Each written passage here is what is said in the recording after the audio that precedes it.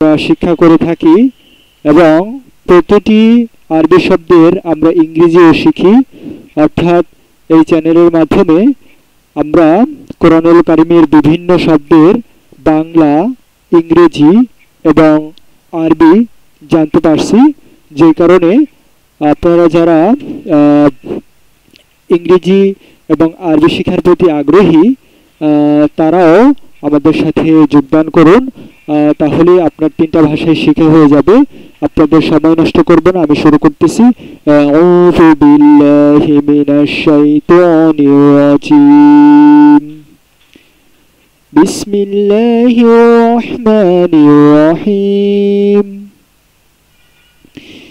এখানে আমাদের প্রথম শব্দটা হচ্ছে মাশালুহুম। মাশালুহুম, তাদের উপমা। মাশাল, মেশাল মেশাল শব্দটা আমরা এমনিতে বাংলায় ব্যবহার করে থাকি। কোনো কিছু মেশাল দেওয়া হয়, উপমা দেওয়া হয়। তো হুম মানে হচ্ছে তাদের। হুম মানে তাদের।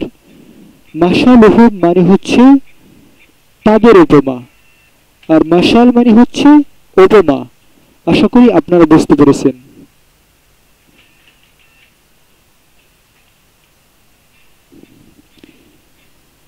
তারপরে শব্দ হচ্ছে কামাশালি কামাশালি উপমা যেমন। কামাশালি মানে হচ্ছে উপমা যেমন। আমি আগেই বলেছি, মশাল মশাল মানে হচ্ছে উপমা। কামাশালিহি কামাশালি মানে হচ্ছে উপমা যেমন। আমরা যখন এটি শিখতেছি, এই ভিডিও দেখে দেখে আমাদের সাথে পড়ে পড়ে শিখে ফেলবেন তাহলে আপনার আর অলসতা লাগবে না। ভিডিও দেখাকালীনই আপনি একটু সময় করে আপনার পরকালের শিক্ষা করে নিতে পারেন। আল্লাহি আল্লাহি মানে হচ্ছে যে, আল্লাহি যে। এখানে অনেকে শব্দটাকে উল্লাজি ভাবতে পারেন, কিন্তু এটা হচ্ছে আরবি লেখার নিয়ম। অনেক সময়, অনেক ক্ষেত্রে এরকম আপনারা পেশ দেখতে পেশের মতো দেখা যাচ্ছে। এটা মূলত পেশ না, এই যে আমি যেটা ধরছি, এটা পেশ না। বরঞ্চ আপনারা দেখুন, এই যে এটা হচ্ছে পেশ, এটা কিন্তু পেশ না।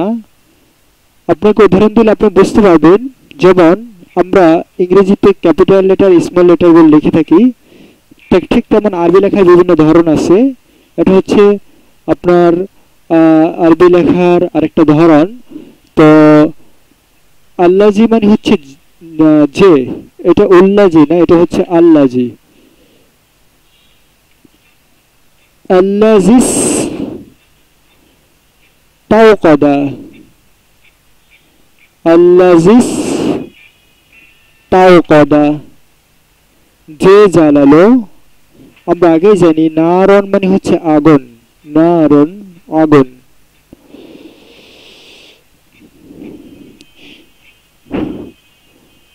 ফালাম্মা ফালাম্মা, এখানে চার মত দেখা যাচ্ছে।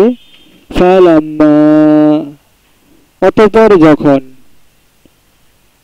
ফালাম্মা অতবার যখন। আদাওয়াত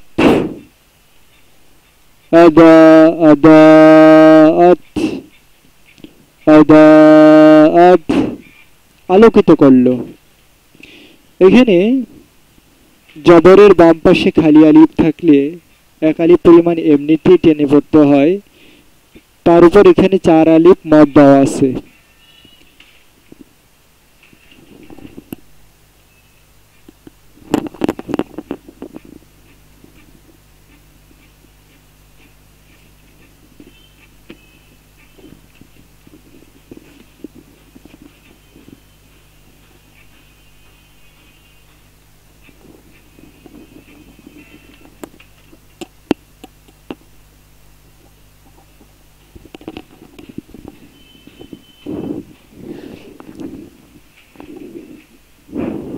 সরি, আমি একটু অন্যদিকে চলে গিয়েছিলাম। মা মা মানে হচ্ছে যা, মা মানে হচ্ছে যা। হাউলাহু তার চারপাশে। হাউলাহু হাউলাহু মানে হচ্ছে তার চারপাশে। হাউলাহু তার চারপাশে। তো আমরা এই বাক্যটা বোঝার চেষ্টা করি এখন।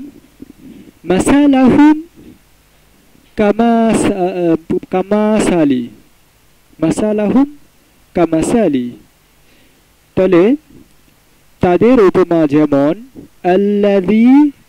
যারা আস্তাও কদ, জ্বালালো জ্বালালো নারন আগুন। ফালাম্মা অতপর যখন আদাওয়াত আলোকিত করল, মা যা হাওলাহুন, হাওলাহু হাওলাহু, যা তার চারপাশ আলোকিত করল। তাহলে তাদের উপমা হচ্ছে, যেমন কেউ আগুন জ্বালালো, অতপর তা তার চারপাশ আলোকিত করল। জহবল্লাহু আল্লাহ নিলেন।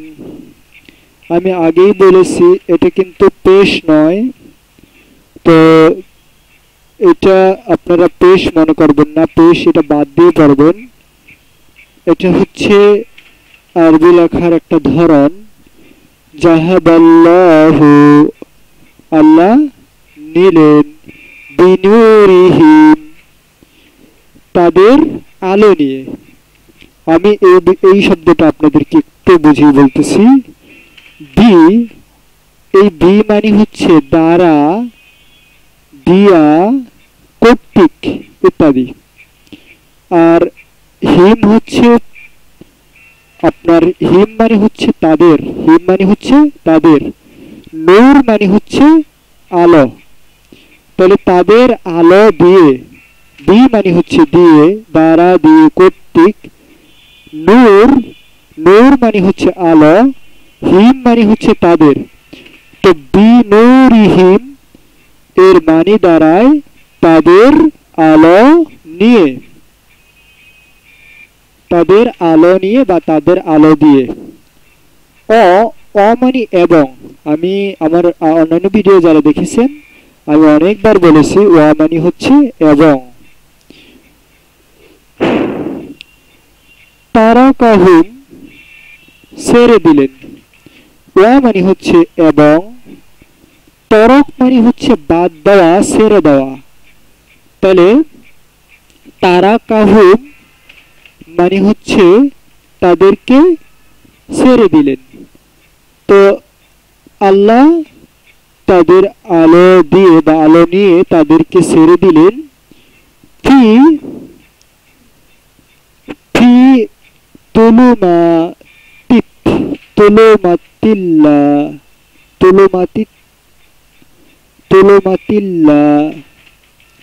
অন্ধকার সমূহে সরি তো জলুমাতিল্লা জলুমাতিল্লা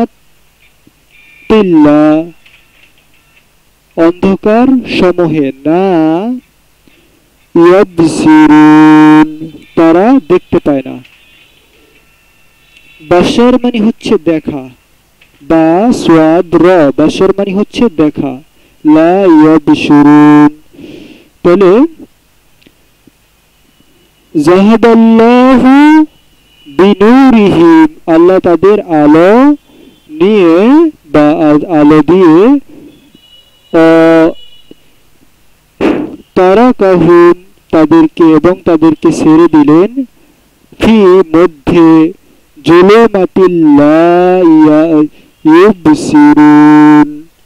অন্ধকার সমূহের মধ্যে তারা দেখতে পায় না। তো এর পুরা অনুবাদটা যদি আমরা পড়ি তাফসিরুল, তাইসিরুল কোরআন থেকে যদি আমরা এর বঙ্গানুবাদ দেখি, তাহলে দেখা যাবে তাদের উদাহরণ বা তাদের উপমা যেমন এক ব্যক্তি আগুন জ্বালালো তা যখন তার চারিদিক আলোকিত করল, আল্লাহ তাদের জ্যোতি অপসারণ করে দিলেন। আল্লাহ তাদের জ্যোতি অপসারণ করে দিলেন।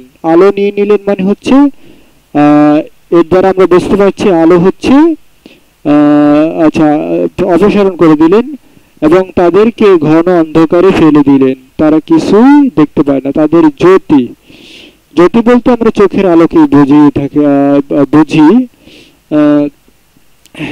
আমরা যদি এই আয়াতের বঙ্গানুবাদ যদি আরেকটা থেকে আরেকটা তাফসির বা তর্জমা দেখে আসি, তাহলে আসানুল বয়ান থেকে আমরা দেখতে পাই, এই আয়াতের সরল বাংলা অনুবাদ হচ্ছে এরকম তাদের দৃষ্টান্ত যেমন এক ব্যক্তি অগ্নি প্রজ্বলিত করল তা যখন তার চারিদিক আলোকিত করল, আল্লাহ তখন তাদের জ্যোতি অপসারণ করলেন এবং তাদেরকে ঘোর অন্ধকারে ফেলে দিলেন। তারা কিছুই দেখতে পায় না। তাহলে জ্যোতি শব্দটাই বারবার ব্যবহৃত হচ্ছে।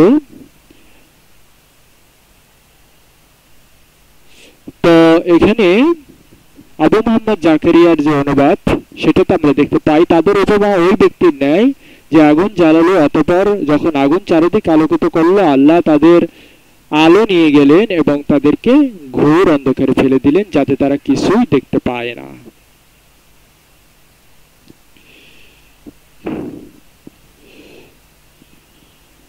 মাসালাহুম মাসালাহুম তাদের উপমা মাসালাহুম, তাদের উপমা কামাসালি উপমা যেমন আল্লাযিনা আল্লাযি আল্লাহ আল্লাযিস তাওকাদ, যারা জ্বালালো যারা জ্বালালো নারন আগুন, ফালাম্মা, অতপর যখন আদাওয়াত আলোকিত করল, মা, যা হাউলাহু তার চারপাশকে জাহাব আল্লাহ নিলেন। বিনুরিহিম, তাদের আলো তারা কাহুম এবং তাদেরকে ছেড়ে দিলেন। ফি জুলুমাতিল্লাহ ইউব সিরুন তারা দেখতে পায় না। এখন আমরা সুরা বাকারার আঠারো নম্বর আয়াতের প্রতিটি আরবি শব্দের নিচে যে বাংলা অর্থ দেওয়া আছে, সেগুলো জেনে আসি। সম্মন বধির বুকমন বোবা অমিয়ন অন্ধ ফাহুম সুতরাং তারা হোম মানে হচ্ছে তারা। ফাহুম ফাহুম মানে হচ্ছে সুতরাং তারা। লা, না ইয়ার জীবন তারা প্রত্যাবর্তন করবে না। তাহলে সুন্নম তারা বধির বুকমুম তারা বোবা উম ওন উম ইউন উম ইউন তারা অন্ধ ফাহুম সুতরাং তারা লা ইয়ার জুন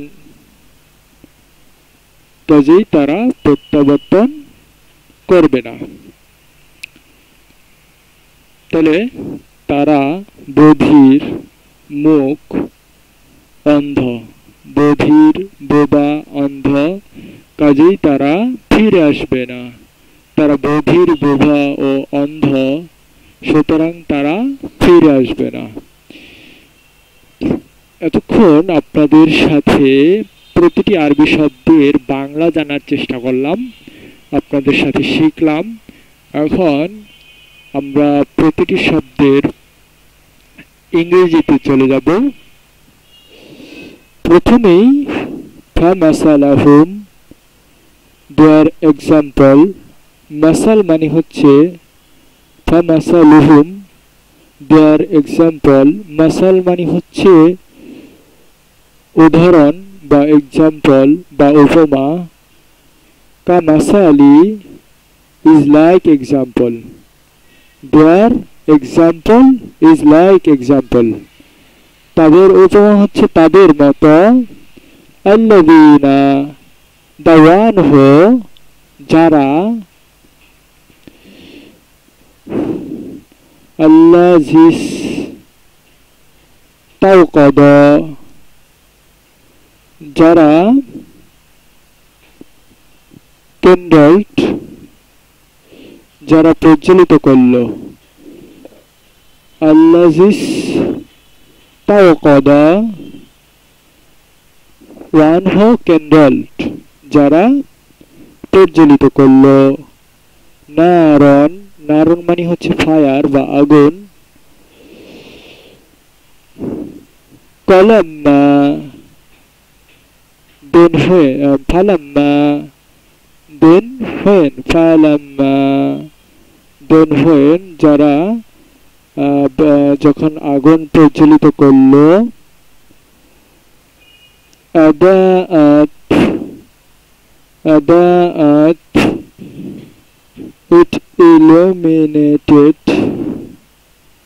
তো এটা আলোকিত করল, মা হোয়াট হাউলাহু অ্যারাউন্ড হিম হাউলাহু around him.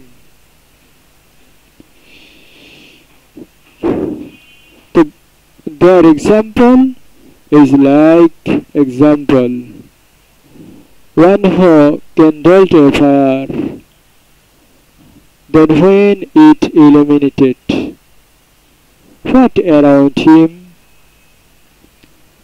জাহাবা জাহাবা মানে হচ্ছে টুক অ্যাওয়ে নিয়ে গেল, জাহাবাল্লাহু আল্লাহ নিয়ে গেল, বিনুরিহিম তাদের জ্যোতি নিয়ে গেল, তাদের আলো নিয়ে গেল তারা কাহম এবং তাদেরকে ফেলে দিলেন ফি ইন তারাক left them and left them. Took Allah took their light Allah তাদের জ্যোতি নিয়ে গেলেন, আলো নিয়ে গেলেন অ্যান্ড এবং তাদেরকে ফেলে দিলেন। ফি ফি মানে হচ্ছে মধ্যে বা in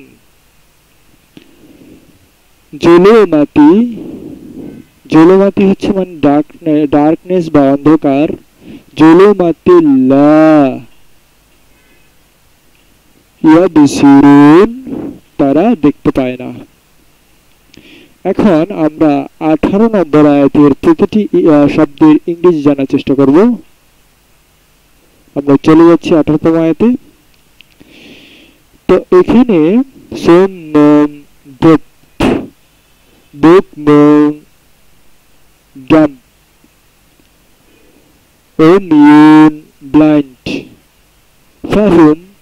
so they yarjiun they will not return deaf dumb and blind so they will not return deaf, dumb, blind, so they shall not return. Deaf, dumb, and blind, they will never return. তো একই অনুবাদ, বিভিন্নভাবে বিভিন্ন grammatical ভঙ্গিতে প্রকাশ করা হয়েছে, আপনারা দেখতে পাচ্ছেন। তো এতক্ষণ পর্যন্ত কোরআনুল কারিমের দুটি আয়াতের প্রতিটি শব্দের অর্থ ঠেকিয়া ঠেকিয়া শেখার চেষ্টা করলাম। আপনারা যারা শিখলেন তারা ঠেকিয়া ঠেকিয়া শিখ শিখলে আরও অধিক সব প্রাপ্ত হবেন। তবে আপনাদের অবশ্যই শিখার মন মানসিকতা থাকতে হবে এবং ভালো কাজের মন মানসিকতা থাকতে হবে। আমাদের চ্যানেল সাবস্ক্রাইব করে ছোট চ্যানেল হলেও ভালো কাজে অংশগ্রহণ করুন। পরবর্তী ভিডিও ভিডিও দেখার আমন্ত্রণ জানিয়ে এবং আপনাদের সাবস্ক্রাইব করার অনুরোধ জানিয়ে আমি আমার ভিডিও আজকে এখানে শেষ করছি।